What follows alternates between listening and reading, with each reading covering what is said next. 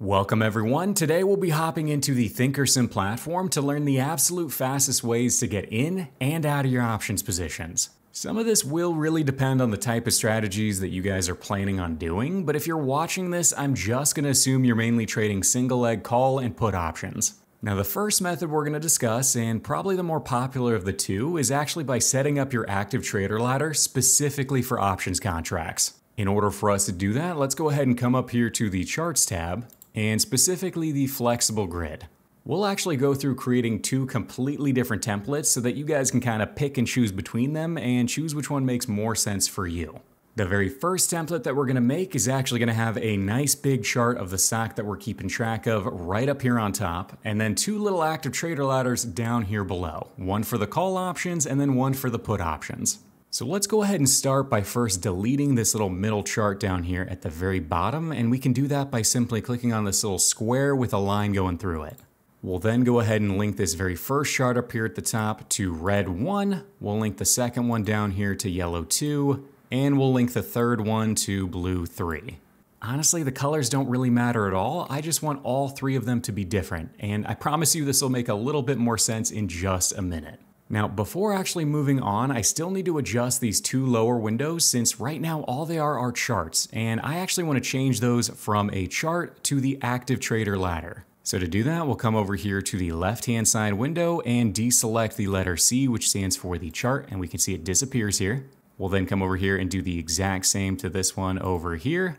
And now in order to add the active trader ladder, we're just gonna come up here to AT, which stands for active trader. Go ahead and click on that one for the right-hand side window and on the left-hand side window.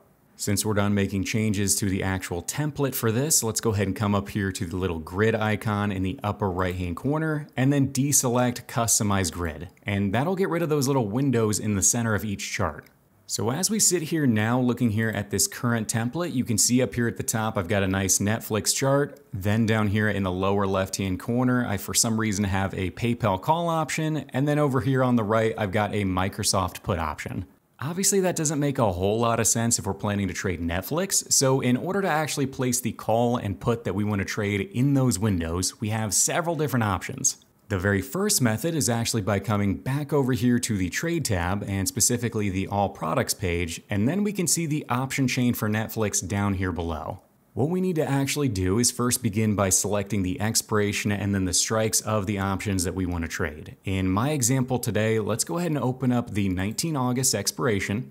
Then looking down here below in the option chain, let's say we wanted to trade the at the money calls and the at the money puts.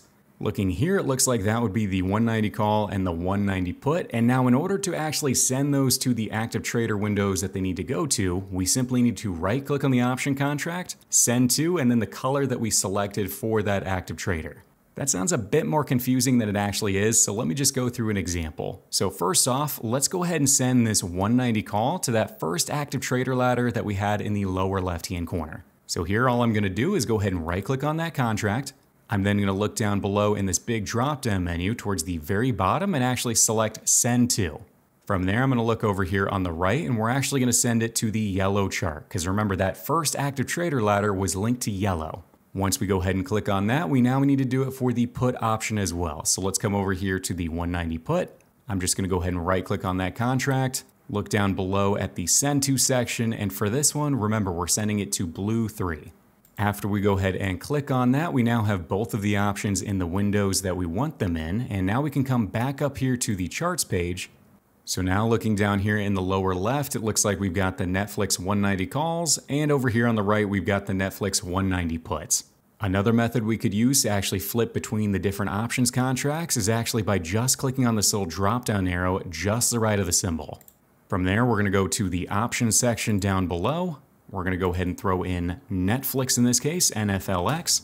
We can then see the option chain down below and we could actually pick the new contract that we wanted to flip it to. So in this case, let's say we wanted to trade instead of the August 19th expiration, we wanted to trade the 12 August and we actually still wanted to stick to the 190 puts. So all I'm to do is go ahead and click on that price right there. And now my active trader ladder is trading the 190 puts for the August 12th expiration. Now the very last method that other people like to use is actually by creating watch lists that come over here on the side panel. So by coming down here and adding a new watch list and one specifically for options here. Like in my case, I'm opening up my calls watch list. Looking down here below, I can now actively track the options that I was tracking for the day. And then if I link this to, let's say, yellow, I could then very quickly click on these symbols, and now my active trader is set up for that new contract. For me personally, I actually just prefer to use this little drop down menu and then select the new options that I want to trade. I find that to be the easiest and the fastest, but it's totally up to you. Now let's go ahead and actually flip it back over to the August 19th expiration, just so it makes a little bit more sense. And now that we actually have this set up, we can now use this active trader to very quickly place our opening and closing trades on these Netflix options. These buy buttons up here at the top are actually used to place market orders, and then the ladder down here below can be used to place limit orders and stops. Coming up here and hitting this little arrow on the left hand side will allow us to change the number of contracts that we're trading and also to create templates over here on the right if we actually want multiple different order types to go out all with one button click. So just as an example of how to use this thing, if we were to come up here and select buy market right now, what I'm essentially saying is I want to buy one contract to Netflix on the 190 strike at the current market price. So now if I were to come down here and hit send, you will see that order has been submitted and I just bought that contract. Coming over here and actually selecting auto send will make the process even faster because then it gets rid of the order confirmations. So now if I were to come up here and hit sell market, that contract has been instantly sold. I just sold that contract for 1880. As I just mentioned a minute ago, you could also come down here to the ladder itself to place limit orders or stops. So let's say I only wanted to buy this contract. If it dropped down to 1835, I would just put my mouse just to the left of that price and then click down. You can see here that that order has been instantly submitted. So I now have an open order to buy one contract at 1835. I could also come up here and first off, let's cancel this out. And I could actually use a template instead so right here, I'm gonna go ahead and change this and put a profit target order to go out right behind it. And we'll say I wanted to sell this thing for a 50% profit above wherever I buy it at. So now that I'm happy with that, if I actually come down here and let's go ahead and minimize this just so you guys can see it. And I'm gonna go ahead and click just to the left of buy limit at 1890 and I'm gonna select that. Now you can see that my order actually just filled, so I just bought that contract at 1890 and a limit order went out there to sell it for a 50% profit. It's a little bit hard to see that working order on this just because it's so much higher than the current price of the stock, but if I come up here to the monitor tab and specifically look at my working orders here, you can actually see my profit taking order is currently sitting at 28.35 and that's 50% above what I bought it for. So going back to our active trader template, if we go back to the charts page and flexible grid, remember this is if you guys want to access both the calls and the puts at the exact same time. If you're someone that only plans to trade one side at a time, we could actually free up a lot of real estate just by adjusting this template a little bit. Before I actually do that, let me come up here to the little grid icon and let me first save this flexible grid. So hit save flexible grid right here.